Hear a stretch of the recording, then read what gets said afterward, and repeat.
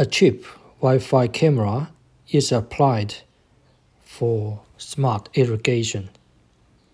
Look at the water level at this rain gauge. What you could do